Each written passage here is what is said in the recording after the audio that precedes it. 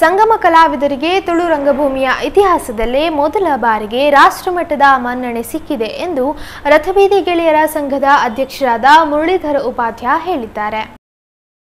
ಸಂಗಮ ಕಲಾವಿದರ್ Manipal, Rotary club Udupi Manipal, SK friends dance, drama academy ಹಾಗೂ ಕನ್ನಡ ಮತ್ತು ಸಂಸ್ಕೃತಿ ಇಲಾಖೆ ಬೆಂಗಳೂರು ಇವರ ಸಹಯೋಗದಲ್ಲಿ ಮಣಿಪಾಲ ಪದವಿ ಪೂರ್ವ ಕಾಲೇಜಿನ ಸಭಾಂಗಣದಲ್ಲಿ ಮೇ ಒಂದರಿಂದ ಹತ್ತರವರೆಗೆ ಮಕ್ಕಳ ರಂಗ ತರಬೇತಿ, ಬಣ್ಣದ ಹೆಜ್ಜೆ ಶಿಬಿರವನ್ನು ಹಮ್ಮಿಕೊಳ್ಳಲಾಗಿದೆ. ರಥಬೀದಿ ಗೆಳೆಯರ ಸಂಘದ ಅಧ್ಯಕ್ಷರಾದ ಮುರಳೀಧರ್ ಉಪಾಧ್ಯಾಯರವರು ಅಶ್ವತ್ಥ ಮರಕ್ಕೆ ನೀರು ಹಾಕುವುದರ ಮೂಲಕ ಶಿಬಿರವನ್ನು ಉದ್ಘಾಟಿಸಿದರು.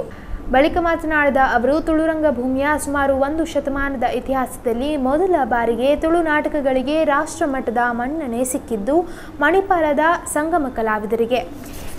ಈ ವರ್ಷ ಎಂಜಿಎಂ ಕಾಲೇಜಿನಲ್ಲಿ ಇತ್ತೀಚೆಗೆ ನಡೆದ ಉಡುಪಿ ತುಳುಕೂಟದ ಕೆಂತೂರು ದೊಡ್ಡಣ್ಣ ಶೆಟ್ಟಿ ನಾಟಕ ಸ್ಪರ್ಧೆಯಲ್ಲಿ ಪ್ರಶಾಂತ್ ಉದ್ಯಾವರ ನಿರ್ದೇಶನದ ರಾಕ್ಷಸ ತಂಗಡಿಗೆ ಪ್ರಥಮ ಸ್ಥಾನ ದೊರಕಿದೆ ಎಂದರು ಮಾಡಿಕೊಂಡೆ ಯಾಕಂದರೆ ಇಡೀ ತುಳು ರಂಗಭೂಮಿಯ ಸುಮಾರು ಒಂದು ಶತಮಾನದ ಇತಿಹಾಸದಲ್ಲಿ ಮೊದಲ ಬಾರಿಗೆ ತುಳು ನಾಟಕಗಳಿಗೆ ಒಂದು ರಾಷ್ಟ್ರಮಟ್ಟದ ಮನ್ನಣೆ ಸಿಕ್ಕಿದ್ದು ಮಣಿಪಾಲದ ಸಂಗಮ ಕಲಾವಿದರು.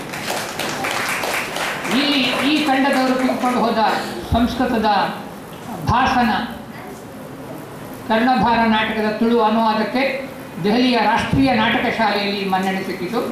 ಮತ್ತು ನಿಮಗೆ ಗೊತ್ತು, ಈ ವರ್ಷ ಎಂ ಜಿ ಎಂ ಕಾಲೇಜಿನಲ್ಲಿ ಇತ್ತೀಚೆಗೆ ನಡೆದ ಉಡುಪಿಯ ತುಳುಕೂಟದ ಕೆಂತೂರು ದೊಡ್ಡಣ್ಣ ಶೆಟ್ಟಿ ತುಳು ನಾಟಕ ಸ್ಪರ್ಧೆಯಲ್ಲಿ ಸಂಗಮ ಕಲಾವಿದರು ಅಭಿನಯಿಸಿದ ಕನ್ನಡದ ಗಿರೀಶ್ ಕಾರ್ನಾಡರ ಇತ್ತೀಚೆಗಿನ ನಾಟಕ ರಾಕ್ಷಸ ತಂಗಡಿಗೆ ಅದಕ್ಕೆ ಮೊದಲ ಬಹುಮಾನ ಬಂತು ಅದರ ನಿರ್ದೇಶಕ ಪ್ರಶಾಂತ್ ಉದ್ಯಾವರ್ ಇಲ್ಲೇ ಇದ್ದಾರೆ ಹೋಗಿದ್ದಾರೆ ಇಲ್ಲಿ ಪರಿಚಯ ಇಲ್ಲದ ಪರಿಚಯ ಆಗಿದೆ. ಅದರ ನಿರ್ದೇಶಕ ಉಡುಪಿಯ ಕಲಾವಿದ. ಆ ನಾಟಕವನ್ನು ಕನ್ನಡಕ್ಕೆ ಭಾಷಾಂತರ ಮಾಡಿದವರು ನಮ್ಮ ಮಿತ್ರ ಉಜ್ಜಾರ್ ನಾಗೇಶ್ ಕುಮಾರ್ ಈ ಸಭೆಯಲ್ಲಿದ್ದಾರೆ. ಮಹಾರಾಷ್ಟ್ರ ಅಪೆಕ್ಸ್ನ ಜನರಲ್ ಮ್ಯಾನೇಜರ್ ವಿವೇಕ ರಾವ್, ಅಧ್ಯಕ್ಷರಾದ ಶ್ರೀಪತಿ ಪೂಜಾರಿ ಪರಂಪಳ್ಳಿ, ರಾಜು ಮಣಿಪಾಲ್, ಉದ್ಯಾವರ ನಾಗೇಶ್ ಕುಮಾರ್, ಪ್ರೊಫೆಸರ್ ಪ್ರಸಾದ್ ರಾವ್ ಮಟ್ಟು ಕಾರ್ಯದರ್ಶಿ ಅಶೋಕ್ ಕಲ್ಮಾಡಿ ಮತ್ತಿತರರು ಉಪಸ್ಥಿತರಿದ್ದರು.